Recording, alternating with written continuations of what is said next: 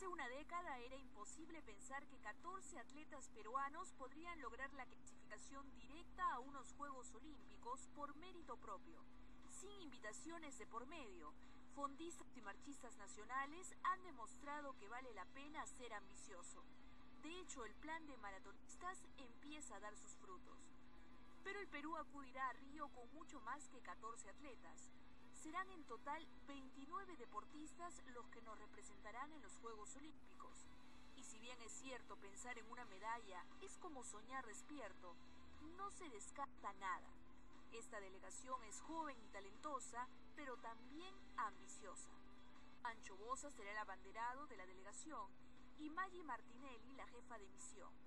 Bosa de 52 años y medallista de oro en los pasados Juegos Panamericanos de Toronto, tendrá el honor de llevar el pabellón nacional en el desfile inaugural por segunda vez en su historia.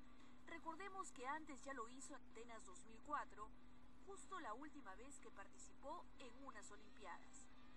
Río recibirá la delegación peruana más numerosa de la historia, casi todos clasificados por mérito propio, lo que es todo un crecimiento del deporte nacional. Los maratonistas es nuestra selección más grande con seis clasificados, tres en la rama masculina y tres en la femenina, destacando los hermanos Raúl y Cristian Pacheco, Inés Melchor y Gladys Tejeda. También tendremos fondistas como Luis Hostos y David Torrens, y saltadores como Arturo Chávez. Tiro estará representado por dos recientes medallistas panamericanos, Pancho Bosa y Marco Carrillo, el remo por Renzo León y Camila Valle, la vela por Paloma Schmidt y Estefan Pesquiera, el judo por Juan Postigos y el taekwondo por Julie Díez Canseco. Asimismo estarán Ariana Orrego en gimnasia, Alonso Valdés en saltos ecuestres, Andrea Cerón y Nicolás Magana en natación, Y Fiorella Cueva en levantamiento de pesas y Janet Sobero en lucha.